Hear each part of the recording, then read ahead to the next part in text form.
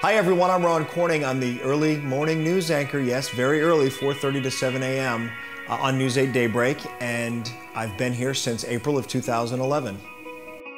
I grew up in a small town, uh, literally in the middle of nowhere, about 100 miles east of Bangor, Maine. That was the closest city.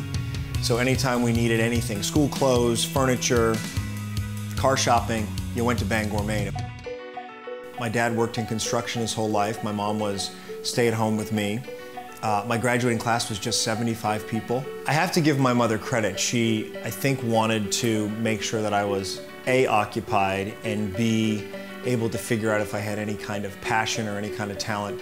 So we tried a lot of different things, and in third or fourth grade, I think, I started taking dance lessons. That led to, we called it there step dancing, but it's really tap dancing to country music. My mother, by no fault of her own, was the victim of a very traumatic head injury. She was 39 years old. I was just 14 at the time. We didn't think she was going to make it at first. Um, and then it was an incredible um, journey back for her, learning to read, walk, talk all over again. She never lost that parental instinct. Um, so much of who she was seemed to be lost at the time. Her skills and abilities, she couldn't walk, as I said, read or write. Um, and yet, she was on me as a freshman in high school uh, making sure that I was making the right choices, making sure that I was getting my homework done.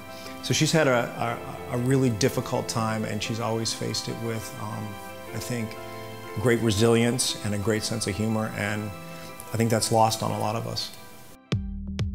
People ask me, how does Dallas compare to New York? Well, this is a city that's growing. There's a great arts community, great food, um, an airport to take you to a beach if you want to go. My mantra, eat, drink, shop, repeat. I mean, is there anything more to life, really? Um, and in Dallas, I say to people, well, we're not going to the beach, so you might as well eat, drink, shop, repeat. Uh, I think my social life probably is like so many other people's, built around socializing, eating, drinking, maybe a little shopping, um, but surrounding yourself with people you really care about and friends and just enjoying it all.